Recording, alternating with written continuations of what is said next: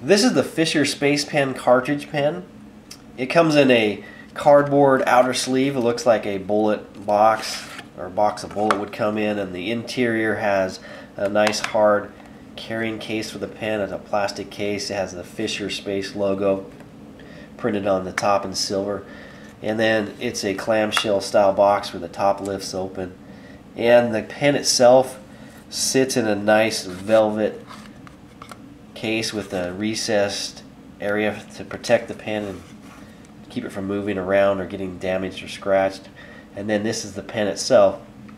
This is a pretty unique pen because it comes with an actual bullet shell casing. This particular pen is the 338 caliber bullet shell.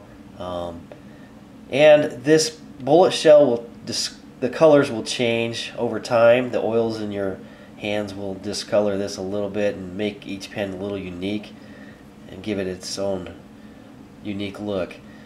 The bullet end of the pen actually pulls out and it has a little band here that keeps the pen st stationary and keeps it inside of the bullet casing and it has the spacer I'm sorry the space pen by Fisher USA uh, this product is all made in the United States and it has the writing, the ballpoint pen. This pen is unique in that the refill on it is made by uh, Fisher Space Pen and it will write upside down through water, ink, or through uh, grease.